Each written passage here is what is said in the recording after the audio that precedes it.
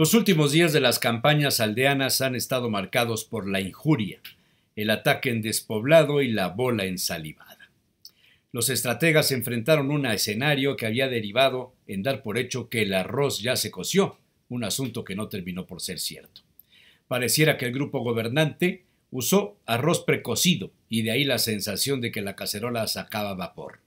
Para otros la preparación aún no termina y siguen cocinando a fuego bajo.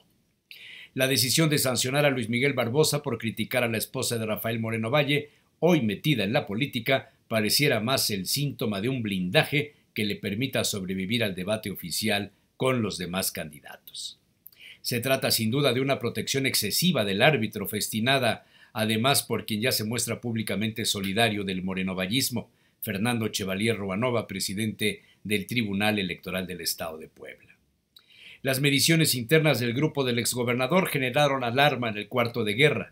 Ocho puntos por debajo de Barbosa no fue una buena noticia. Se ordenó entonces la entrada de la campaña negra y el desmantelamiento del encuentro con empresarios y universitarios, donde la candidata del frente saldría mal parada. Las revelaciones sobre los asuntos económicos de Barbosa tenían como objetivo bajarlo, pero no sucedió así. Tan solo se consiguió frenarlo, dejarlo en el mismo sitio con lo que los ocho puntos de diferencia siguen vigentes y provocan la toma de medidas extraordinarias para impedir que Marta Erika no continúe su descenso. Una campaña alterna pretende además cerrar el paso a las descalificaciones y modificar las percepciones de los electores. Así, para quienes ven en Marta Erika Alonso poca o nula experiencia, le siembran la idea de que es la única que ya tiene un equipo para gobernar y empiezan a circular los nombres.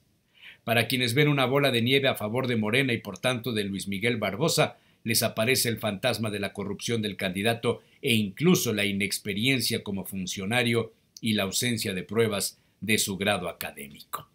Los del PRI aseguran que tienen opciones desde los aspectos jurídicos, por el adelanto de campaña de nueve días de Marta Erika, hasta la ejemplificación de que su candidato Enrique Doher es el único preparado para gobernar y muestran la historia de vida del ex rector de la Benemérita. Estos días son definitivos para el reposicionamiento de candidatos locales. La moneda sigue en el aire y tienen hasta el 10 de junio para redefinir sus espacios. Después de esa fecha, la percepción será irreversible, o por lo menos así me lo parece.